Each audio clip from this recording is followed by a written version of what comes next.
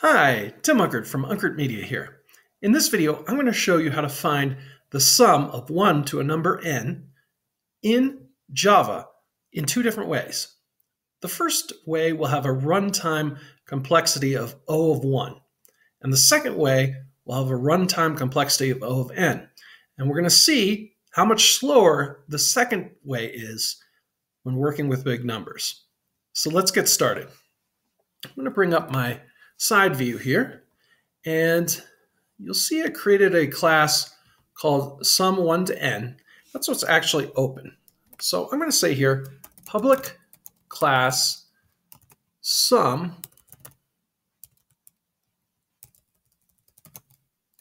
There we go. Auto completes for me. Public class sum 1 to n. And we're going to create a main function here. And then within the main function, we're going to need an integer n. We're going to need an integer sum 1, and we're going to have an integer sum 2, okay? Because we're going to have two different functions. Now, I want the user to be able to work with this program, so I'm going to take user input. And I'm going to use uh, the buffered reader class to do that. So I'm going to say buffered reader, and you'll see my IDE will import this java.io, the input output buffered reader. I'm going to say buffered reader br equals new buffered reader, new input stream reader, system dot in. Okay, I'll put a semicolon there. Now we want to instruct the user to enter an integer. So I'm going to say uh, we'll do s out as a shortcut for system.out.println. We'll say enter an integer. Okay, and actually what I'm going to do is because I want large numbers, I think I'm going to change this up and we're going to change this from an int to a long. Okay, so that will give me a the ability to hold and work with a lot larger numbers. Okay, so now I want to take in the long n. So I'm going to say n equals integer dot parse int br dot readline. And I'm going to put a semicolon at the end. Now, this is telling me that I need to do something here. If I hover over it, see if it'll pop up. It says unhandled exception java.io.io exception. So if I want to fix that, I'm just going to do Alt Shift Enter and you'll see I'm importing this java.io.io exception, and it added this code throws IO exception. Okay, so we need that when we're using this buffered reader and taking in read line. Okay, so now I've created this integer n. So I'm going to move out of this main class and I'm going to create a class or out of the main method, not class. And I'm going to create a method, public static uh, long because we want to return a long. And let's call this sum 1 to n. We're going to take in a long. We'll just call it n. Same thing. You can call it whatever you want, but just realize that we're going to use this now inside the function. Now, the O of 1 way of doing this is simply to return n times n plus 1 divided by 2. Okay, the reason why this works, well, let's think about it. Let's take the sum of 1 to 5. So let me go down here. Let's make uh, a multi-line comment here. And let's do the sum of 1 to 5. So that'd be 1 plus 2 plus 3 plus 4 plus 5. So that's going to equal 15. Okay, now let's think about this. Does that equal 5? Is that equal to, let's put a, a pseudocode, is that equal to? Uh, and let's do 5 times 5 plus 1. Okay, so that's 5 times 6 divided by 2. So 5 times 6 divided by 2. So 30 divided by 2. So is that 15? Yes, it is. Let's take a look at 1 through 10. So we're going to do 1 plus 2 plus 3 plus 4 plus 5 plus 6 plus 7 plus 8 plus 9 plus 10. Okay, so that's going to equal 55. So I'm going to use the pseudocode here. Does that equal, well, does that equal 10 times 10 plus 1 divided by 2? So 10 times 11 is 110 divided by 2. Yes, that equals 55. So that's how we're coming up with this formula here. And this is O of 1 complexity. Okay. All right. So now we're going to create another method uh, that's not going to be O of 1 complexity. So we're going to have O of n. So let's say public static long. Uh, let's just say another sum. Taking a long n, okay? And we're going to create a long sum inside of here equal to 0. So this is local to this function. So uh, talking about scope, it's local to this block of code. So what we're going to do is we're going to say for long i equals 1, we'll start at 1, i is less than or equal to n. So we're going to go from 1 all the way up to n. We're going to increment by 1 each time.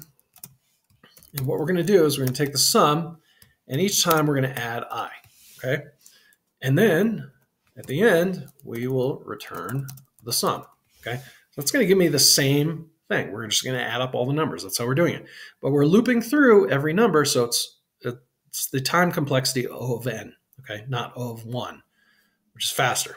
O of 1 is faster, okay. So um, what I'm going to do now is we've come up with some longs, so sum 1 and sum 2. So I'm going to say sum 1 equals sum 1 to n. We're going to pass in n, the number that we got from the user, and we'll print it out. We'll say uh, the sum of 1 to n equals, and we'll just do sum 1 here. Next, we're going to calculate sum 2.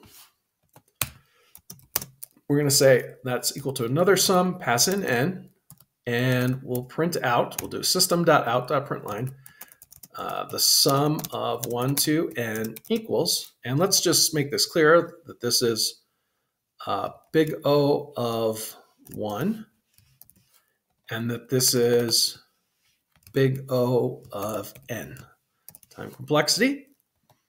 Um, and we'll just do another equals for formatting here. Hope this makes sense. And then uh, we'll do plus, what is it, sum 2? Sum 2. Okay. And so what we're going to do now is uh, run the program. So let's do that. Okay. So I'm going to run it. It's going to take a moment to build and then run. Here we go. You can see it. I don't know if you can see it, but it's building, parsing Java. Okay. And here we go. Enter an integer. Uh, so let's just start with a small integer. Let's do 10. And we get those pretty much happening at the same time, right? Because we're starting with num small numbers. So we get 55 and 55. Cool. Let's run it again. And let's this time, let's do a little bit bigger number. Let's do 1,000. So this is slightly larger. Pretty much the same time, we get 500, 500, or 500,000, 500. Okay, cool. All right, let's run it again. This time we'll jump it up to a million.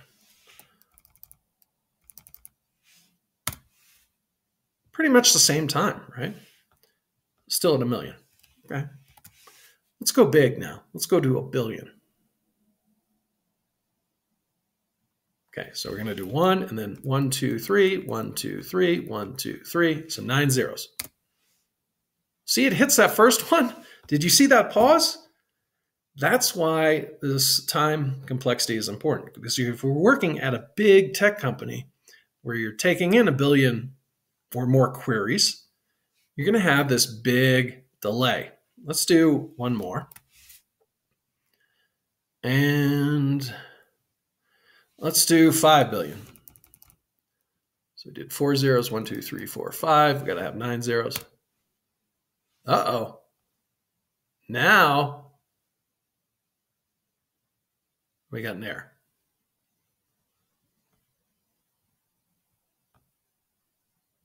So we went too high. Okay. So let's try this again. Let me make sure. Let's see. One, two, three, four. Yeah. We went too high with 5 billion. So it's throwing an error. Okay. It's not liking it. Let's go 2 billion. 1, 2, 3, 1, 2, 3, 1, 2, 3. Okay, first sum we see. now we got the second sum, okay? Took a while. Let's see if we can push it to 3 million. Or 3 billion. So 1, 2, 3, 1, 2, 3, 1, 2, 3. So nine zeros. I don't know why I group it by three, but I do. Ah, we're throwing an exception, okay? So we're going a little too high for even the long to figure it out. But, uh, so we probably have to go to long, long or something like that, or uh, big math, or bring in a different library. But anyways, you get the point. You saw at 1 billion and at 2 billion, there was a, a marked difference in the time execution of what we had with the O of 1 versus the O of n. So the O of 1 is much faster, uh, more efficient way of finding the sum from 1 to a number n. So if you're thinking about competing in a code competition and you want to do Java and a problem like this comes up, use this first method. Hope you liked this video. If you did, please give it a like and consider subscribing to the channel as it really does help the channel grow. I want to thank you for watching and I hope to see you in the next one.